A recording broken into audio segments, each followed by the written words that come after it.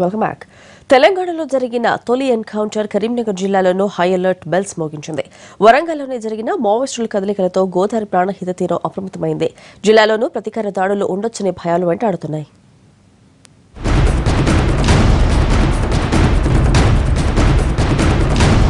మావోయిస్టులు లేరు. రిక్రూట్మెంట్లు లేవు.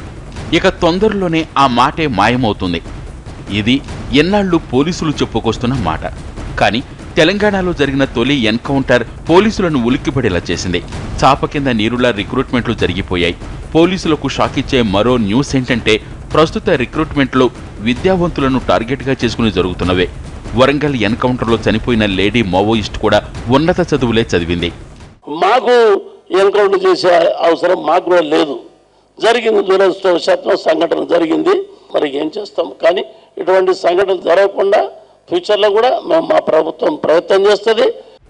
వరంగల్ ఎన్కౌంటర్ తర్వాత ప్రతీకార దాడులు జరిగే అవకాశాలు ఉన్నాయన్న ఇంటెలిజెన్స్ హెచ్చరికలతో పోలీసులు అప్రమత్తమయ్యారు. లేరు లేరనుకున్న మావోల కదలికలతో ఇక మళ్ళీ కూంబింగ్ ముమ్మరం చేసే పనిలో ఉన్నారు.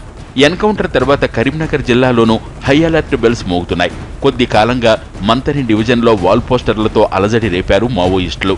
మావోల కదలికలు ఉన్న ప్రాణహిత గోదావరి తీరంలో ముమ్మరంగా కూంబింగ్ కొనసాగుతోంది.